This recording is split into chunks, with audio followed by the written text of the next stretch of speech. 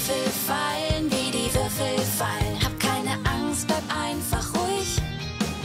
Du bist nicht allein, du hast die Crew dabei. Jetzt heißt es Augen zu und durch. In dieser Ausgabe unserer Spielleitungstipps für What Worlds and How to Use Them geht es um Heists. Heists sind ein bisschen eine besondere und auch eine Masterclass, was das Rollenspiel angeht. Heists generell, ich glaube, die meisten von euch wissen, was das ist, aber ganz kurz, da geht es darum, dass man irgendwo eindringt, etwas tut, möglichst unbemerkt, ähm, etwas klaut, etwas hinbringt, Informationen austauscht, jemanden rausholt und dann möglichst auch wieder entkommt, ohne dass das schief geht. Heißt, setzen also weniger darauf, sich irgendwo durchzukloppen und einen Dungeon auf, auszubauen. Heißt, setzen darauf, dass man mit Trickserei, mit Heimlichkeit, mit Glück und mit sozialer Fähigkeit und Eloquenz sich in etwas reinarbeitet und wieder rausarbeitet und sich dabei am Ende dann auf die Schulter klopfen kann, wie schlau man war und wie geschickt das alles abgegangen ist. Möglichst während im Hintergrund lose Jazzmusik läuft oder so etwas. Das ist der klassische Heist. Ist auch so ein bisschen so die Gentleman-Diebes-Sache. Äh, Oceans 11, ein moderner Klassiker dieses Genres. Ich glaube, wir haben uns alle orientiert, worum es da geht.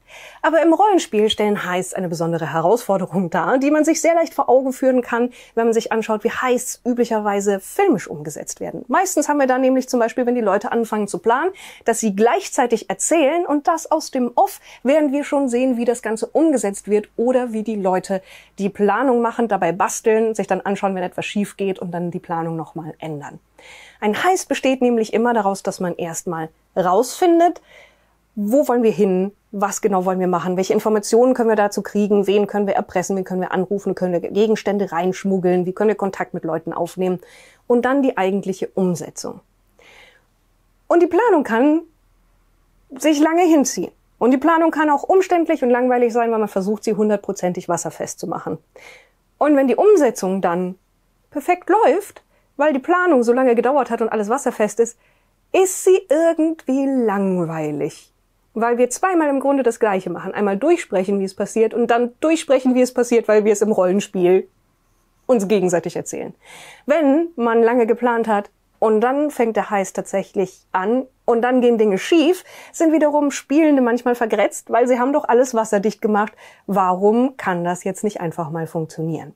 Das ist auch bekannt als das Shadowrun-Dilemma, ein Rollenspiel, das sehr stark auf diese Art von Abenteuern setzt, auf den Run, wie es da heißt, und das chronisch daran leidet, dass Leute tagelang spielen, wie sie etwas planen, aber am Ende dann trotzdem einfach alles zusammenschließen.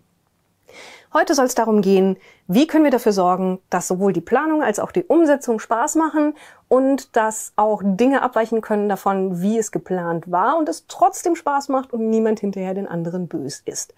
Und dafür als erstes eine Grundlage und die ist Vertrauen. Das ist noch keiner von den fünf Tipps, die ich euch an den Kopf werfen will, sondern das ist etwas, was ihr mit der Runde generell aufbauen müsst, wenn ihr diese Art von Abenteuern spielen wollt nämlich Vertrauen von euch als Spielleitung gegenüber den Spielenden, dass die nicht versuchen werden, alles kaputt zu machen, was ihr vorbereitet habt, denn ihr werdet recht viel vorbereiten müssen, dazu später mehr. Andersrum Vertrauen von euren Spielenden an euch, dass ihr nicht zuhört, wie sie planen, dabei die ganze Zeit hm, hm, hm, hm, hm, macht und euch nur notiert, wie ihr ihre Pläne wieder zunichte machen könnt, damit es am Ende noch spannend bleibt. Und dass es auf jeden Fall für sie möglich sein wird, Erfolg zu haben, auch wenn sie zwischendurch versagen. Das ist ganz wichtig, dass ihr euch da gegenseitig die Hand reicht und euch versprecht, hey, wir werden alle gemeinsam Spaß haben, wir werden versuchen, nicht uns gegenseitig zu verärgern, dass wir Dinge spontan machen, dass Dinge schief gehen, dass wir zwischendurch auch mal ein bisschen verzweifelt sind in Character. Das gehört dazu, das gehört zum Spaß und das ist nichts, was wir uns gegenseitig übernehmen. Vielleicht habt ihr eine Runde, in der das selbstverständlich ist und ihr habt jetzt die ganze Zeit euch gefragt, warum ich darüber mit euch rede. Aber glaubt mir, es ist nicht selbstverständlich. Ich habe selber genügend Runden geleitet. Ich war selber Spielerin in genügend Runden, wo dieses Grundvertrauen nicht da war. Speziell bei Shadowrun wird das Ganze oft zu einem wahren Wettrüsten zwischen den Spielenden und der Spielleitung, um irgendwann mit möglichst viel Explosion, mit möglichst viel Sicherheitsmaßnahmen, mit Hacking und sonst irgendetwas alles und ferngesteuerten Drohnen gegenzuhalten gegen die Pläne des jeweils anderen. Und das ist vielleicht der Sinn von Shadowrun, zumindest so wie es manche Leute spielen, aber das ist für mich nicht der Sinn eines unterhaltsamen Heist-Abenteuers. Kommen wir zu den Tipps. Wie können wir das dann jetzt umsetzen? Wir haben die Vertrauensbasis geschaffen. Wie können wir dafür sorgen, dass das Spaß macht, wir uns nicht ewig an Dingen aufhalten und dass das Ganze am Ende sauber läuft? Und vielleicht ein bisschen unterhaltsamer Jazz im Hintergrund läuft. Es sei denn, ihr hasst Jazz. Was angemessen ist für viele Leute. Erstens, kürzt die Vorbereitung ab. Ich weiß, das tut weh. Vor allen Dingen die Spielenden. Die wollen vorbereitet sein, die wollen Sicherheit. Aber kürzt sie ab oder lasst sie vielleicht sogar ganz weg. Wie macht ihr das? Die Charaktere werden sicher vorbereitet haben. Warum spielen wir das dann nicht aus? Macht daraus ein Punktekonto und Flashbacks. Sagt den Leuten, ihr dürft so und so oft mal während des eigentlichen Heists sagen, aber ich habe doch diesen Gegenstand eingepackt, habe das doch vorbereitet und mit der Person gesprochen, ich habe doch das hineinschmuggeln lassen oder ich habe diese Information mir genau vorher schon rausgesucht. Damit können Sie abbilden, wie gut vorbereitet Ihre Figur ist, ohne das vorher stundenlang abgeklopft zu haben. Gebt Ihnen diese Freiheit und ermutigt Sie auch, sie für weirde Dinge zu nutzen. Es kann vollkommen angemessen sein, dass jemand sagt, also ich hätte nicht gedacht, dass wir es brauchen, aber ich habe dieses Erdnussbutter-Sandwich eingepackt und den Typen da hinten, den habe ich vor zwei Wochen bei einem anderen Auftrag gesehen und ich weiß, dass der extrem allergisch gegen Erdnüsse ist. Und so dann auch tatsächlich Zufall in dieses Vorbereitungskonto mit einfließen zu lassen. Zweitens, nutzt Flashbacks. Wenn Leute sagen, oh, dafür, darüber haben wir doch sicher gesprochen, was haben wir denn da gesagt? Dann sagt, ja, was habt ihr darüber gesagt? Ihr erinnert euch, dass als ihr euch getroffen habt, es war der zweite Tag der Vorbereitung, ihr hattet alle einen leichten Kater und vor euch einen Kaffee stehen und habt das fünfte Mal auf diesen Teil der Karte geschaut und dann hat XY gefragt, wie zur Hölle sollen wir das machen? Und dann spielt ihr diese kleine Szene der Vorbereitung aus, packt diese eigentlich in der Zeit vorher gespielte Szene, die wichtig ist dafür, wie es weitergeht, genau an diesen Punkt der Erzählung rein. Haltet sie auch knapp, lasst das nicht ausufern. Brecht an dem Punkt ab, wo irgendjemand einen schlauen Vorschlag gemacht hat und die anderen sagen, ich glaube, das könnte funktionieren und macht dann mit diesem Vorschlag tatsächlich weiter. Das ist mein Tipp. Nummer eins, cutten, an andere Orte verteilen, als Punktekonto abstrahieren. Spart euch unglaublich viel Zeit und Ärger. Tipp Nummer zwei. Die Spielenden müssen sich nicht ewig vorbereiten ihr aber schon.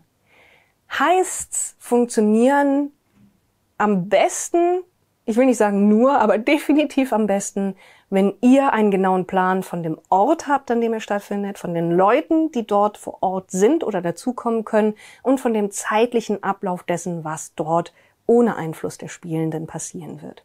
Macht euch einen Plan, macht euch Notizen dazu, was sind das für Räume oder was sind das für Anlagen, Orte, Gebäude, Schreibt euch auf, wer wo ist und macht euch einen Zeitplan, was zu welcher Uhrzeit geschehen wird. Meistens finden heißt ja auch im Rahmen von größeren Veranstaltungen statt, einer Gala, einer Party, eines Flugs, eines Tauchgangs, was weiß ich. Und die werden einen Zeitablauf haben, wann was passieren muss oder wann verschiedene Tagesordnungspunkte ausgerufen werden, wann das Buffet eröffnet wird.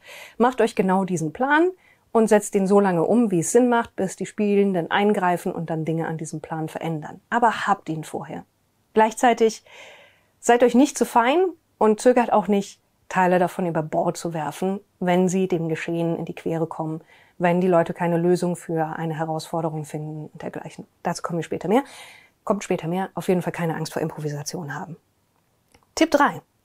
Plan selber mindestens drei gute Wege, wie das Ziel erreicht werden kann. Drei gute, unterschiedliche Wege. Und überlegt euch auch, wie es überhaupt dazu kommen kann, dieses, diese Schwach Punkte oder diese Reihe von Schwachpunkte existieren. Denn ja, jemand mag gute Security angeheuert haben, ein Gebäude mag mit vielen Gittern und Gegenmaßnahmen gegen Einbrecher gesichert sein, aber es gibt immer eine Möglichkeit, warum irgendwo eine Sicherheitslücke ist. Das kann sein, weil jemand Kosten gespart hat, der das Ding gebaut hat. Das kann sein, weil es Pfusch gab oder Sabotage absichtliche. Das kann sein, weil jemand eine Fähigkeit, einen Gegenstand oder Hilfe mitbringt, mit der einfach niemand gerechnet hat.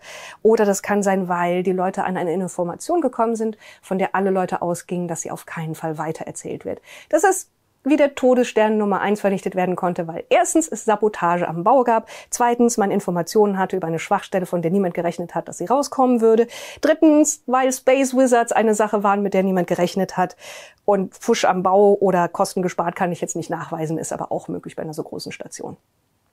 Tipp Nummer vier.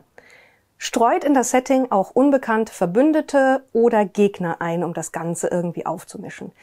Unbekannte Verbündete, also mit denen man nicht rechnet, kann zum Beispiel ein vergraulter Bodyguard sein, wo man miterlebt, dass der von seinem Chef zusammengeschissen wird und dann vielleicht bereit ist, wenn man sich ihm gegenüber mitfühlen erweist, ein oder zwei Informationen irgendwie durch sickern zu lassen. Das kann sein, dass man überraschend politisch Gleichgesinnte findet, die ein verstecktes Zeichen, das man mit sich trägt, erkennen. Ich habe zum Beispiel bei einem Cthulhu-Abenteuer, das in den 20er Jahren in Berlin spielte, eingestreut, dass auf der Party auch ein anderer überzeugter Kommunist war, während wir einen überzeugten Kommunisten unter den Spielenden hatten und die dann quasi regelrecht beim Erklingen der Internationale, als ihre Blicke sich begegneten, beschlossen haben, dass sie sich gegenseitig unterstützen werden egal was kommt. Oder dass auch jemand vielleicht einfach eine Schwäche für einen bestimmten Spielercharakter hat, weil da Mitgefühl herrscht, weil sie derselben Spezies angehören, weil sie ähnliche Erlebnisse haben oder einfach, weil man mit ihnen flirtet. Sorgt dafür, dass man immer auch noch eine überraschende Schwachstelle oder Verbindete findet. Oder wenn es zu gut läuft oder zu schnell läuft, dann gibt es vielleicht noch jemanden, der Ärger macht, wo man, man nicht gerechnet hat, weil jemand betrunken Streit mit den Leuten anzettelt und droht, alles auffliegen zu lassen, nur weil jemand auf einmal die Stimme erhebt zum Beispiel. Tipp Nummer 5. Es geht immer noch was anderes vor, als nur der heißt. Der Klassiker ist, dass ein anderes Team was das Gleiche versucht und man mit denen dann auf einmal in Konkurrenz steht. Aber es kann auch sein, dass es zum Beispiel technische Schwierigkeiten gibt und dann ist der Strom zu einem Rechner, den man hacken muss, auf einmal unterbrochen. Oder das Funksystem, das man mitgebracht hat, wird gestört, weil es in der Nähe einen Hobbyfunker gibt. Oder dass es tatsächlich einfach einen Umwelteinfluss gibt und man den geplanten Fluchtweg nicht nutzen kann, weil es hagelt wie Sau oder weil es so kalt ist, dass man auf keinen Fall mit der Ausrüstung, die man dabei hat, noch rausschwimmen kann oder unter Wasser sich absetzen. Und das sorgt dafür, dass auch wenn der Plan hervorragend ist und wenn ihr euch alles vorbereitet habt, auf jeden Fall man irgendwie immer noch diese Leichtigkeit und dass man muss auf seinen Zehenspitzen um den Plot herumtänzeln und immer bereit sein, sich anzupassen, in den Plot hineinkommt, was für mich das Genre heißt, auf jeden Fall ausmacht.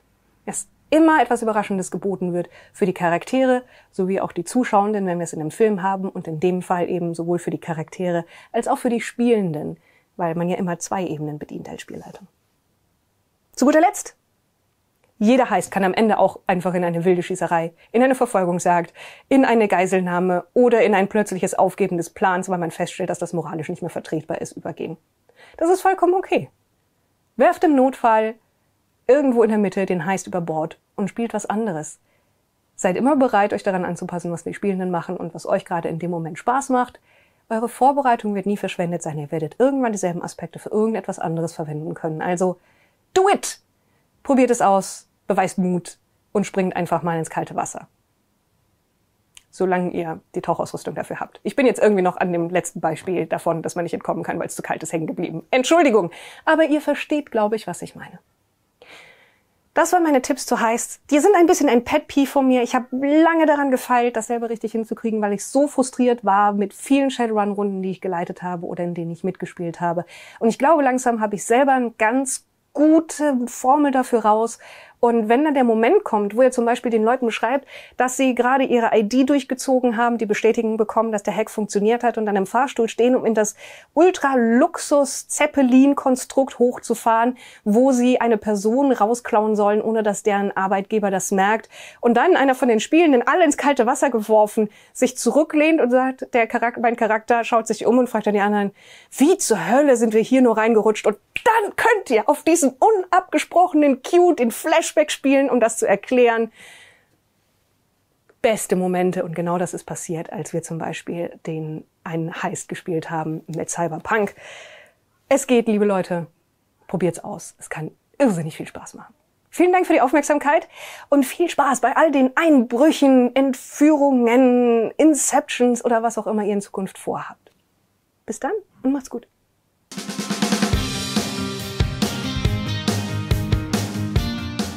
Und wir haben auch eine ganze Playlist mit weiteren Videos mit Tipps für Spielleitungen, aber auch für Mitspielende. Wir haben eine Playlist mit Tipps zu Worldbuilding und wir haben eine spezifisch zu SL-Tipps für Dungeons and Dragons. Schaut also rein, wenn ihr noch ein bisschen mehr Futter braucht oder wollt für zukünftige Runden. Bis dann. Tschüss.